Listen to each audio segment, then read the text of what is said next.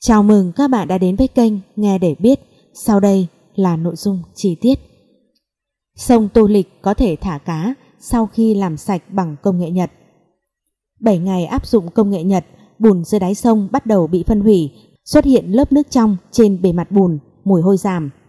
Ngày 31 tháng 5, nửa tháng sau khi Hà Nội thí điểm làm sạch sông Tô Lịch bằng công nghệ nano Biorectop Nhật Bản, ở một số đoạn lắp máy xử lý, nước sông đã dần chuyển từ màu đen kịt sang màu trắng sữa, lòng sông vẫn nổi nhiều bùn rác.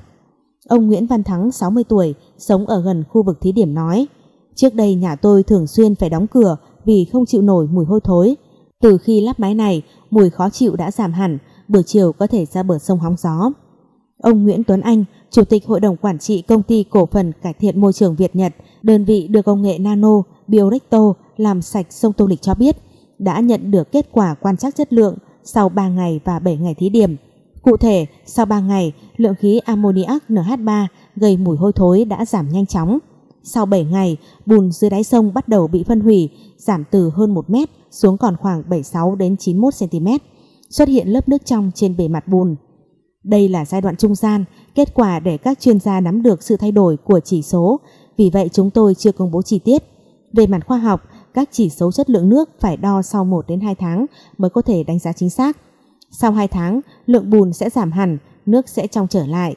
Đến lúc đó, chúng ta có thể thả cá trên khúc sông này, ông Tuấn Anh nói. Theo ông Tuấn Anh, công nghệ nano tạo ra oxy trực tiếp kích hoạt các vi sinh vật hiếu khí, còn yếu tố công nghệ biorecto kích hoạt các vi sinh vật kỵ khí. Cả hai yếu tố này đều tạo ra oxy, đảm bảo cho cá và các sinh vật sinh sống phát triển. Đặc biệt yếu tố biorecto có khả năng kích hoạt gần 100% các vi sinh vật trong môi trường. Chúng làm nhiệm vụ tiết ra enzyme, điện ly các phân tử nước để giải phóng oxy trong nước.